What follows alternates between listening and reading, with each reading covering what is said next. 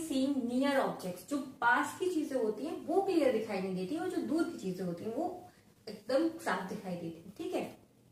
अब image of near objects fall behind the retina अब जो इसकी इमेज बनती है, वो कहाँ बनती है? रेटिना के पीछे बनती है।